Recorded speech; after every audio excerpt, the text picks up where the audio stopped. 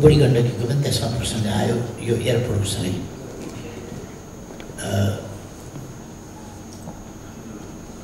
बुढी गण्डकीको कुरो दिन पर्थ्यो कि पर्दैन थियो आफ्नो ठाउँमा दिन हुन्थ्यो कि हुँदैन थियो कम्पिटिसन गराउनु पर्थ्यो कि कम्पिटिसन बिना पनि सरकारले दिनु पर्थ्यो वा सक्छ कि सक्दैन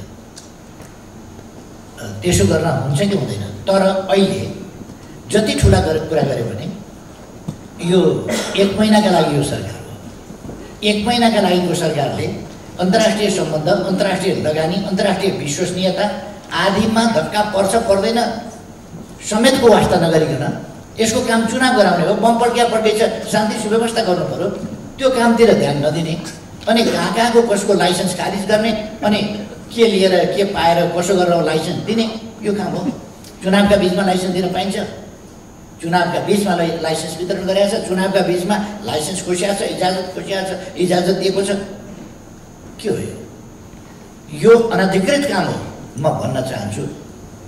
थुप्रै यस्ता कुराहरू भएका छन् जसलाई आगामी सरकारले करेक्सन गर्नेछ। त्यो चाहिँ म भन्न चाहन्छु। त्यो करेक्सन गर्नुपर्छ यस्ता कुराहरूलाई। यो यो बतासिएर जानेर मौकाको फाइदा महिना दिनभित्र हाटुट लाटलुट गरौँला भन्ने नसोचे हुन्छ हाटुट लाटलुट